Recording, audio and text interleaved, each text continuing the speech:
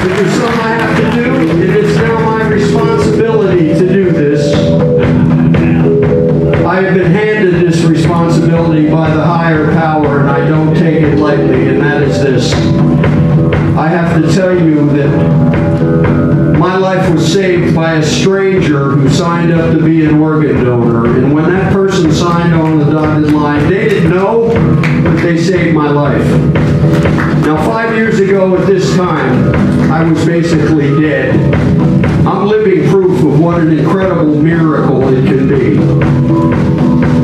If you choose to recycle, you have eight life-saving organs in you. That means you could literally save eight people's lives. Think about that. But there's other parts that could be used also. An example would be burn victims. Here's a true story. Since I've been preaching organ donation, I've met two people who have this story.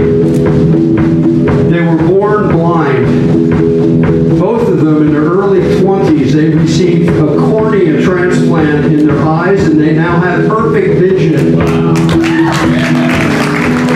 That sounds like a blues song cliche, you know, bring eyesight to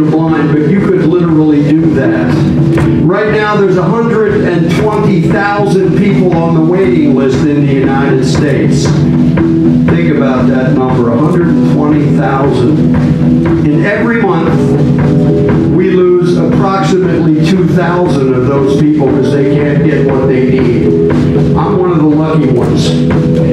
I happen to get what I needed. But every month there's about 2,000 that are not lucky, and that's a shame. That to me is a true national emergency, and you don't hear about that on the news.